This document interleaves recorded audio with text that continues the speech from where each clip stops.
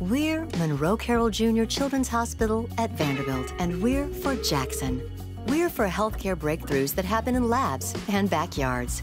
We're for people who go the extra mile and doctors who go the extra hundred. We're for morning walks and afternoon barbecues. We're for the simple truth that a glass of lemonade may just be what the doctor ordered.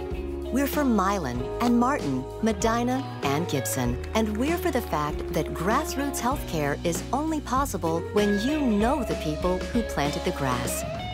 We were welcomed here over 25 years ago. Now we're planting our roots even deeper.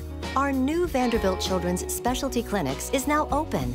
As the only children's hospital in Tennessee ranked in all 10 specialties, we're dedicated to expert pediatric care. We're for Jackson. Learn more at VanderbiltChildren'sJackson.com.